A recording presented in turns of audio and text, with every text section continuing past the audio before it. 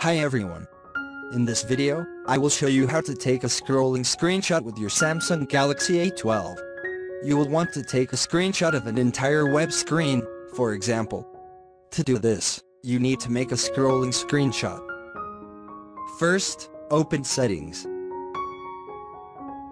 Tap on Advanced Features.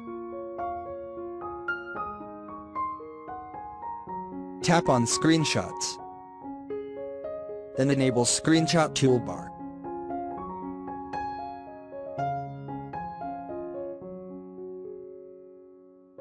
Now you can scroll to capture more of the screen, crop or draw on the screenshot.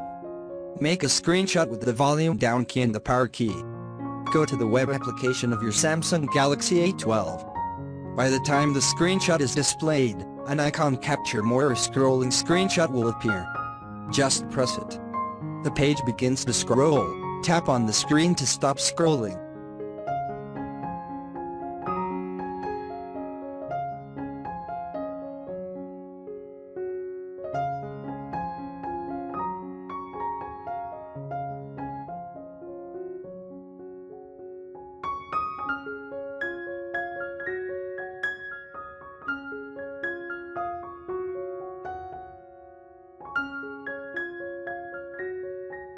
Select the screenshot that has just been taken, then open it with Gallery app. Thanks watching this video.